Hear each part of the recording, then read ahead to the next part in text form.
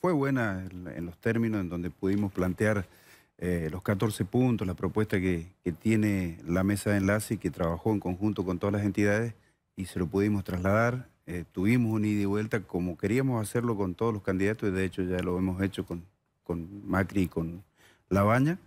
Eh, y pudimos salir de algunos interrogantes que teníamos producto de algunas declaraciones de Felipe Solá. De la Junta Nacional de de Granos, la ¿no? Junta Nacional de Grano y algunas regulaciones y esos fantasmas que volvieron otra vez, como el- los ROE o algunas otras.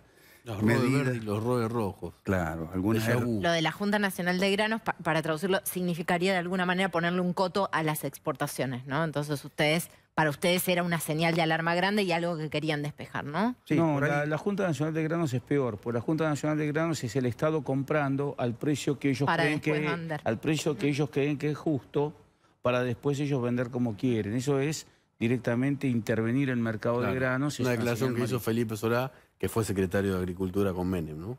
Así Aparte es, que en la sí. teoría, en la teoría es todo bárbaro, eh, pero cuando lo llevamos a la práctica se convierten en herramientas nocivas que bueno, ya tuvimos nosotros lamentablemente los resultados eh, y no los queremos volver atrás. Y esto ¿Y se Alberto les dijo que esto no va a ocurrir?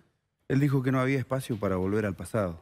Eh, Nosotros le hicimos el planteo con respecto al nivel de intervencionismo en el mercado, dado que hoy el comercio internacional y la necesidad de Argentina de exportar y la integración al mundo implica un compromiso de mantener las reglas de juego claras y no intervenir en los mercados para poder exportar. Y él dijo que estaba lejos de la visión de, la- de las intervenciones, que no estaba, nunca había estado de acuerdo con los ROE, que no estaba de acuerdo con ningún tipo de intervención, que sí le preocupaba eh, el valor de los alimentos en aquellos productos que en el valor internacional cobran un valor excesivo y que habría que buscar un mecanismo para que los sectores de menores ingresos puedan acceder a, un, a una- a un precio razonable para, para los alimentos. Pero que no quería saber nada con intervención.